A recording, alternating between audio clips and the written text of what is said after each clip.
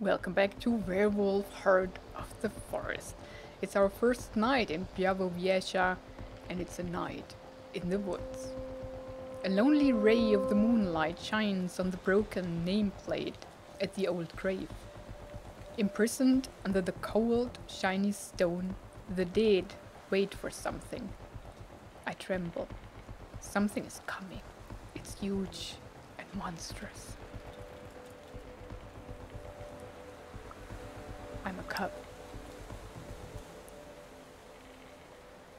I'm a wolf cub, like the ones my grandfather told me about. I will grow and my fangs will become sharper. I will taste blood. I feel a pull and I surrender to it. I run toward a clearing. There are piles of fresh corpses of people who died too young, skinned and mutilated. Their loved ones stand around them, grieving, unable to do anything waiting, and suddenly they are just trees and tree trunks. I look around. My nostrils flare. Who did it? Who murdered the trees? There's a stench in the air like meat rotting in acid, but somehow worse. I see the monstrous army. Their mandibles are whirling chainsaws. Their long metal arms are wrapped with black pipes that look like glistening intestines. Their smell is vile. They wait, unmoving.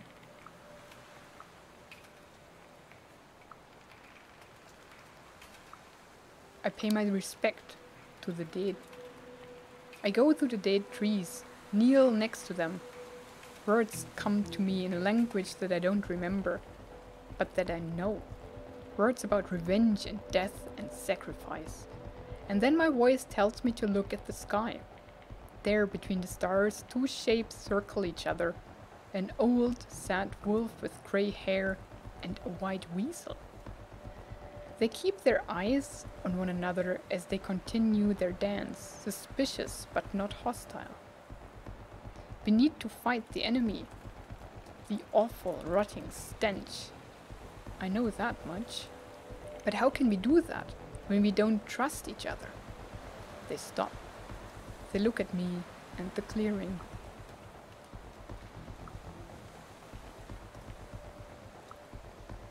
Hmm.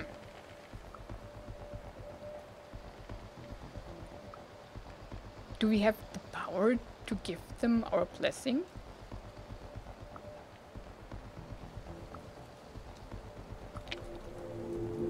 Let's. I spill my blood and bless them with words that I do not recognize, but that I understand. They come down to me, and their voice is the voice of the Puszcza. Welcome back. You've been away for too long a time. I wake up.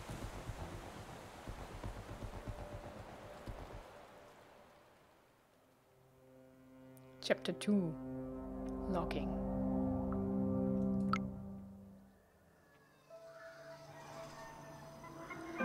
Let's look first at our character sheet. We're still Maia Boroditch, and uh, we are more inspiring than in the beginning. We gained one analytical just yet. Uh, spiritual didn't change, I think it's five, and cunning three. We gained that, I think, in the last episode. We're still healthy.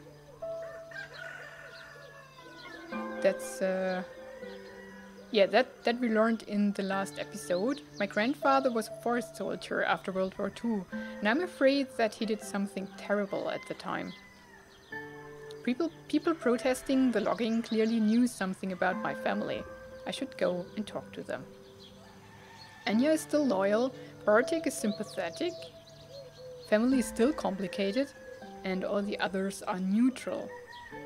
And the forest is sympathetic. That's great. I like that.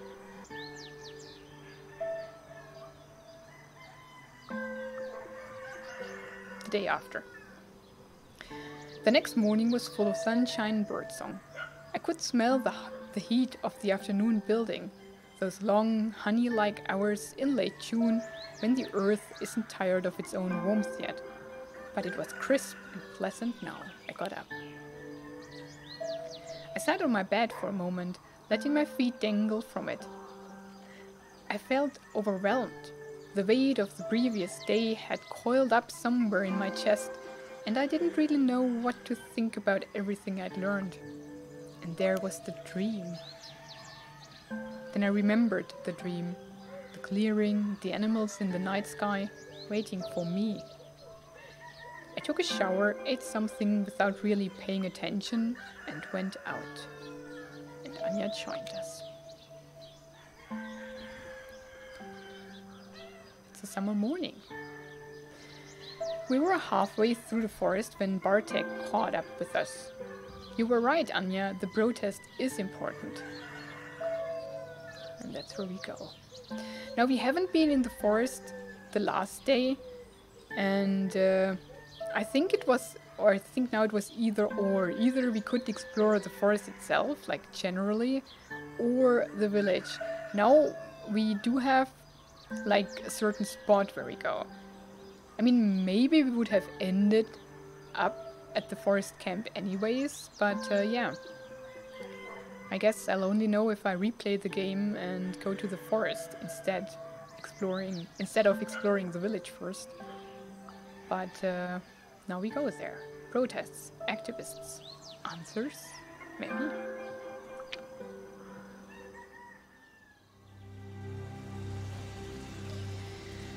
Against the machines. As I walked toward the logging site, I noticed there were more people heading that way.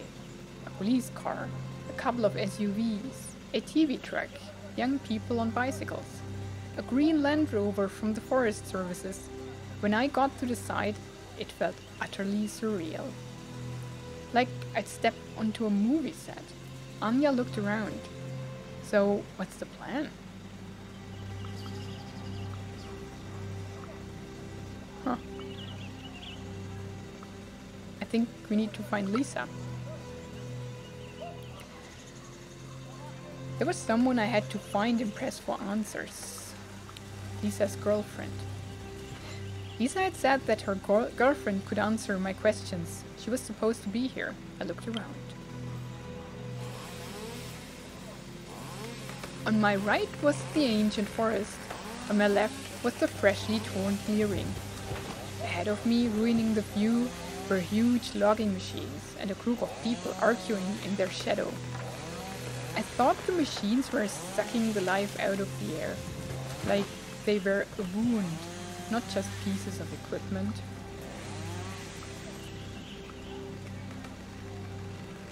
I looked at the clearing. The trees they'd cut down lay in the middle, thrown together, lifeless, limp, just like the dream. Surrounding them were the harvesters that killed them, and people who squabbled over their corpses. The protesters, the reporters, the police, and of course the loggers. The harvesters loomed over the clearing, reeking. And there I saw a familiar face among the protesters. Lisa was standing next to Olga from the cemetery, who was arguing with a vaguely military-looking man in his 30s. The protesters were clearly conflicted.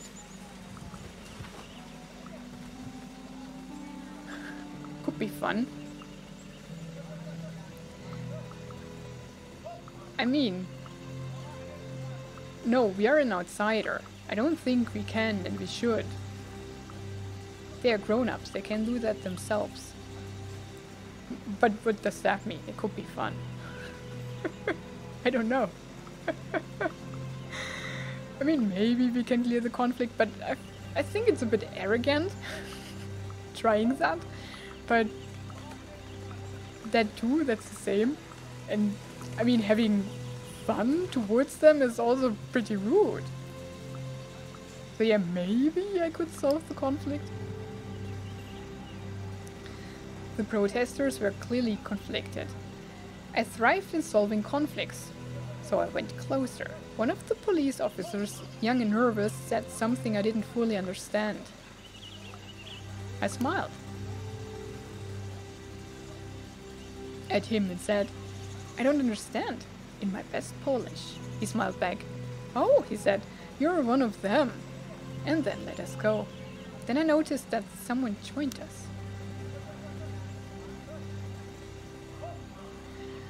And then I noticed that someone used the commotion to sneak up, to sneak with us past the police. A girl with disheveled, bleached out hair. Don't worry, she patted the officer on the arm. It was an awful pickup line anyway. He recoiled. I. You shouldn't touch me, ma'am. Keep smiling. I smiled at her and wanted to say something, but I was interrupted. Pat, some guy called her from the gathering. Could you come here? I need you to show Olga that chart. She sighed, reaching to her backpack and taking out a tablet.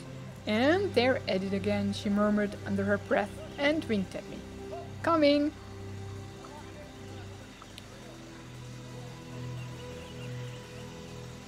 As I walked towards Lisa, I heard more and more of the argument. Olga, you can't. The man was speaking with a strong German accent. Pat stood next to him with her tablet. She looked a bit amused. Do not fucking tell me what I can or can't do, Cornel, Olga interrupted. I can, because they are destroying our mother. I can fight with all the means at my disposal, even if that means burning those harvesters to the ground. A slender, green eyed man was standing near, near her. He took a few steps back, went towards one of the harvesters, turned his back on us all, and pissed on the machine. Olga smirked. Ah, Daniel, you know how to bring the point home. He looked at her confused. Cornel raised his eyebrows. Burn the harvesters? Cornel asked calmly. In this drought? Olga, are you out of your mind? You know what I mean. We fight them any way we can. Because this is a fucking war, she spat. He sighed. You've never seen real war and it shows. Nobody is shooting at us, and believe me, we want it to stay that way. We need a peaceful protest. Approach Lisa. Hey, can we talk? I asked, approaching Lisa. Oh, hi Maia, good to see you. Listen, we have a little dispute here. Maybe you'll be able to explain the problem to our friend. Oh, so I was to take a stand. I looked at them. At them both. Olga with her fury and passion, Cornel with his cool professional demeanor, and shared without any reservations what I felt about the situation.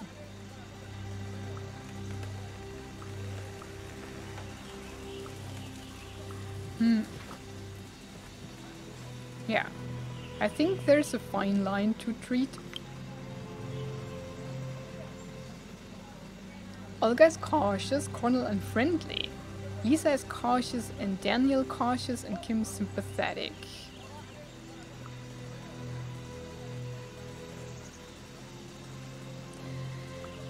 There's a fine line to treat, I said in the silence. You don't want the protesters to be painted as terrorists, and you don't want them to be treated as irrelevant and ignored. Kim shook their head and moved forward. I observed him curiously. Olga, darling, you know I love you, but Cornel really knows what he's doing. Please trust me on that one. They looked at her apologetically. Fuck off, Kim. You didn't even trust me enough to come here on your own when I asked you to. Lisa decided to say something. Lisa looked them straight in the eye. She had a peculiar accent. Kim, you want to teach me about violence? She looked them straight in the eye. About fighting oppression? Just because your boss went to what, one mission in Afghanistan? Her Polish was peculiar, kind of mellow. Cornel winced. Lisa, uh, leave Kim alone. I. He didn't know what to say, and it seemed that the whole discussion would be derailed. I didn't let that happen. Hey guys, the forest, I said. The logging? The protest? Olga unclenched her fists. Cornel looked back at her and chuckled softly. You almost punched me. The conversation was over, at least for the time being. Cornel, together with his cronies, walked towards the reporters while Olga went back to the group of people standing in the shadow of an old oak tree.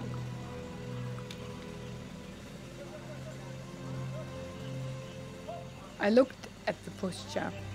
The clearing full of felled trees was like a gaping, bleeding wound in the chest of a friend. I had to do something.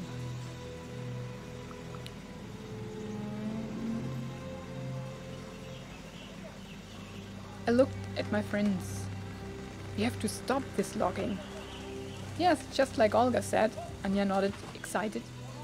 What they're doing is unforgivable, and we have to fight. It is a very complicated situation. Bartek looked thoughtful. I liked what that guy Cornel said, that we should proceed peacefully, not to discourage the public and potential supporters. I looked at one crew and then at the other. The harvesters were dripping with black oil, and the forest stood tall, serene, and full of golden light. It looked like it could protest, protect itself. And then I looked at the felled trees, dead, limp, helpless. I mean, we're not going to burn down the forest. uh, I think that would be the worst, um, worst thing to do because you cannot control a fire like that in the forest in the summer in June when it's hot. So we would not only destroy the harvesters, uh, we would destroy the forest itself. And a wildfire in such a region is just getting out of control so fast. It's not it's not a thing. It's not it's not possible. It's just stupid. So Hmm. But I mean, I understand why they are angry, and I would be angry too, but that just doesn't help. If you want to get somewhere, you have to think about the future too.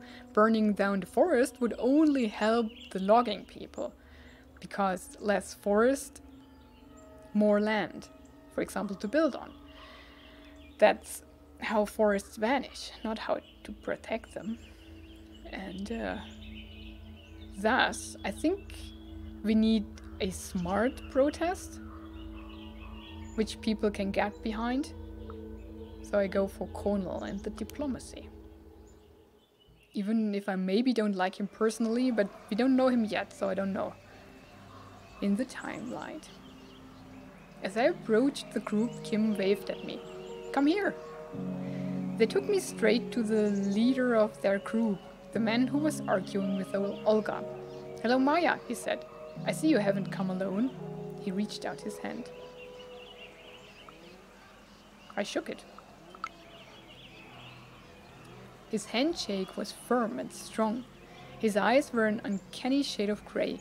He might have been in his early 30s, I thought. But there was more to him.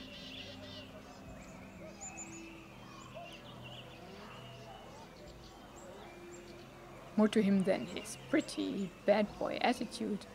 I wasn't sure what it was, but I felt it, and he knew that I knew. Cornel looked me in the eyes. I know why you came to Białowieża. The forest is reaching out to you, because for a long time your ancestors were its servants, and now you are the only one left to pay what they owed.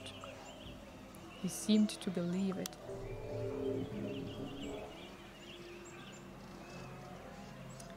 I looked at him, skeptical, but he seemed to believe it. The important question is, he looked at me intensely, do you want to help? I had no time to answer that. I heard a commotion and turned around. The reporters were coming our way, but their cameras were switched off and pointed at the ground. I had an idea. I ignored them and turned back to Cornel.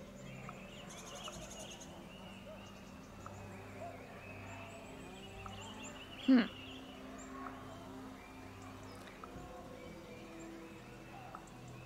The media needed something spectacular. There was a way we could use the media. I think we should spin the media, I said. Make the headliners. That's the plan, he nodded and turned toward the reporters. So, he asked. There was a hint of impatience in his voice. The reporter shook his head and grimaced. Sorry, everyone, we can't do anything. We're not allowed to cover what's going on here. Huh. Suddenly I understood.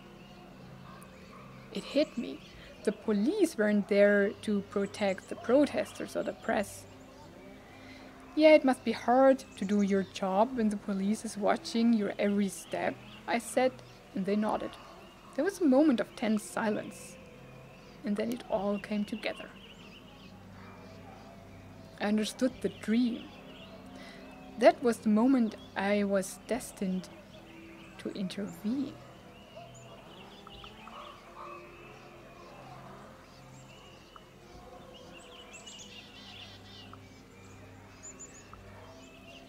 Protest was too quiet. They needed inspiration. The voice of reason. I took a step back and looked at the bigger picture.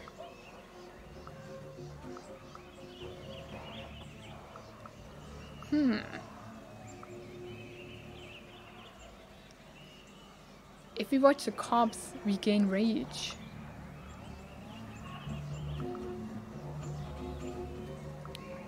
But they are against the press too, so the press is for us, right? I took a step back and looked at the bigger picture. I watched the police as they started to push into the protesters. I could see their faces covered in sweat under the helmets. Got any brilliant ideas? Cornel asked me. I grabbed a megaphone from the hands of a confused young man and jumped on a nearby tree stump. Audio feedback screeched and heads turned my way. I had one chance to take control of the situation.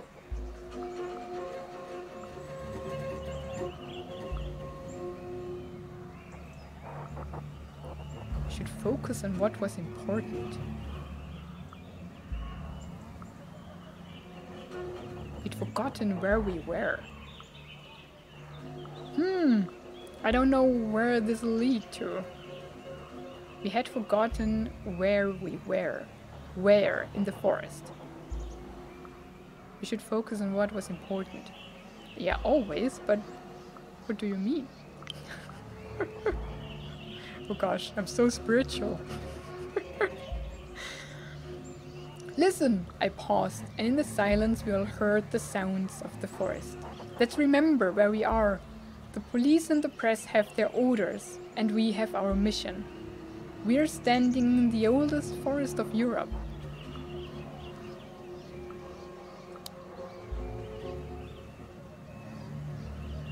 We all understand how this works, I continued, considering my next words carefully. Escalating will only bring more problems.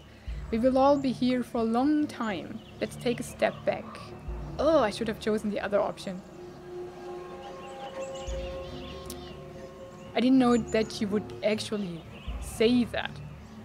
I just thought she would think about what she wants to say. they looked at me.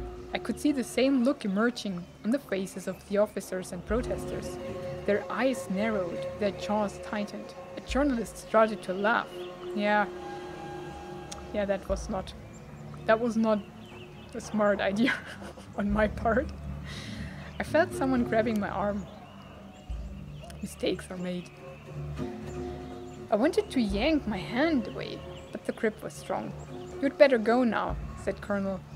We'll take it from here. Yeah. Better that way.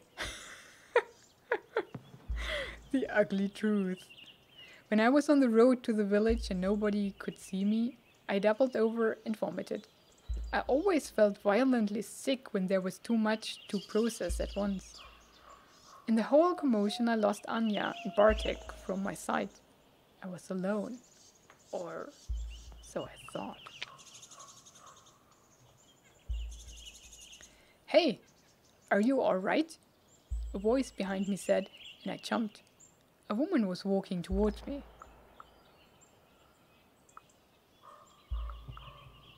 I was fine. I said stiffly.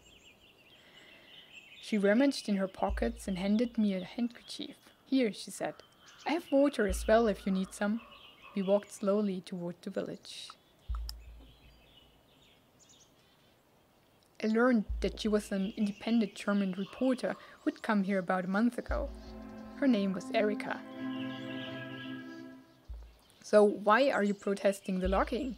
She asked after a few minutes of small talk. I mean, we have to save the puszcza. I think the puszcza is unique, and when I saw how many trees they've cut in just one afternoon, it broke my heart. I said, still shaken by the sheer number of the fallen trees. I have to do whatever I can to save the forest. I looked at her. And why are you asking? She looked at me with renewed interest. Do you know why they are cutting down the trees? She asked back. Because you do know that logging is done by a government company, the state forests. the fuckers. I had no idea. I didn't know that, I admitted. In fact, I knew very little. I know very little about the situation, I realized. Just what the others have told me. Erika reached for her notebook. It all started with spruce bark beetles. Erika looked into her notes and started explaining the whole situation. That year, the beetles' infestation was of catastrophic proportions, and the foresters decided that the only way to stop it and save the rest of the forest was to cut down as many infested trees as fast as possible.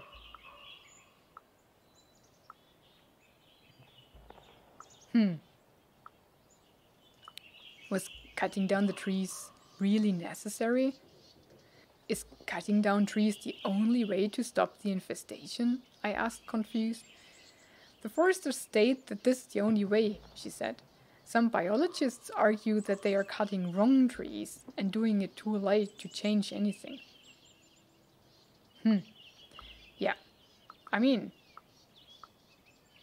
these are biologists. They know about the beetles, I hope, better than uh, the foresters.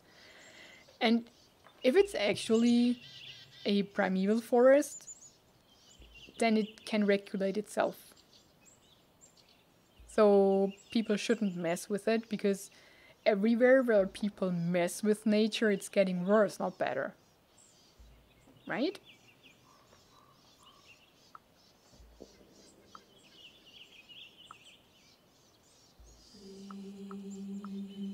Yeah, just don't remove any trees. Dead trees are also of value for for a for an untouched forest. I mean, this forest isn't untouched. You can walk through it, ride through it. Um, yeah, I don't know. Was the logging legal? I wanted to know. Opinions differ, but such massive logging in a UNESCO listed area might be illegal, Erika answered. Couldn't they just remove the dead trees? Maybe. If they removed the dead trees, the infestation wouldn't spread. I tried to find a solution. They might do that, but dead trees are what make the forest unique, Erika smiled.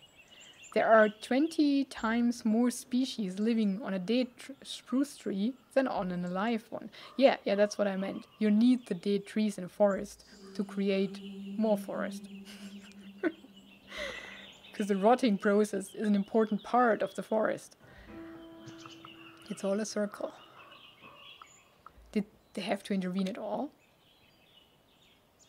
Couldn't they just leave the puszcza alone and let nature take its course? I asked. That's one of the opinions, Erika admitted. But there's a drought, and no one is sure if the forest would survive on its own. Yeah, yeah, but the drought also is man made. It was a complex situation, but that didn't mean that I should step back. I felt that Erika was deliberately playing the devil's advocate. I needed advice. I'm not sure what to think about it, I admitted. I could really use your advice.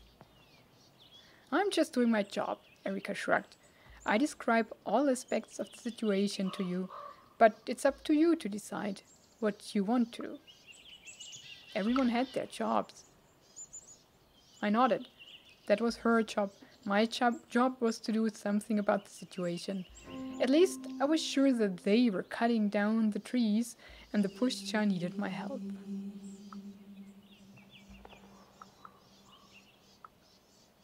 Hmm. I asked her to stop and listen. Stop for a moment and just listen, I asked Erika. We stood there, listening to the birds and the wind in the trees. We breathed in the smell of the forest. We felt the sun on our faces. That's why I cannot let them cut down the trees, I said. She looked skeptical. You're not the only one feeling helpless, she sighed. So don't let the complexity of the situation stop you. Life is always complex, and yet we carry on.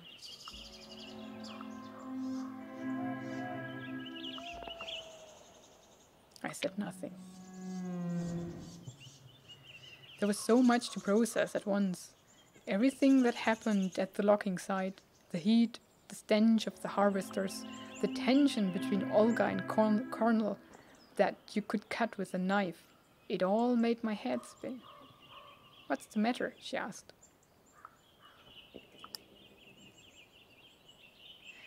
Felt so helpless when I saw all that. I took a deep, a deep breath when I remembered what Cornel had said. And they said that I have some family debts to pay. I shook my head. It's a lot to take in, and there was that foul smell back there. She looked at me with a weird expression. What smell? she asked. How come she didn't smell it? You you didn't smell it? The harvesters reeked of something, like like meat that's been rotting in acid, only worse. I couldn't even find the words to describe it, but the memory of the foulness still clung to the back of my throat, swimming in my sin- sinuses. She looked at me with a strange expression on her face, as though she wanted to say something and then thought better of it. There was sympathy in her eyes. You'll learn in your own time if you stay here long enough, she said clearly wanting to drop the topic. What, what did she mean? What do you mean? I asked, getting irritated. I just told you, you'll learn in time, or not at all, which would frankly be better. Anyway, gotta run. As I watched her leave, I thought that whatever was my family legacy had surely manifested itself that day. I guess I'd made some progress. I jumped right into the middle of a very tense situation and at the very least upset the status quo. I just hoped I hadn't made things worse. So I walked on in silence. I think I end this episode here. Uh, it seems to be a bit too long if I cover the whole days depends on where we go. And uh, it seems we have the dreams at night, so either we start with the dreams, or end with the dreams, or end with the evening. I don't know yet. This one I end here, then we start with regrouping, and then supposedly the night and the dream, and then we'll see what will come tomorrow. Thank you so, so much for watching this episode. Have a wonderful and adventurous day, and goodbye.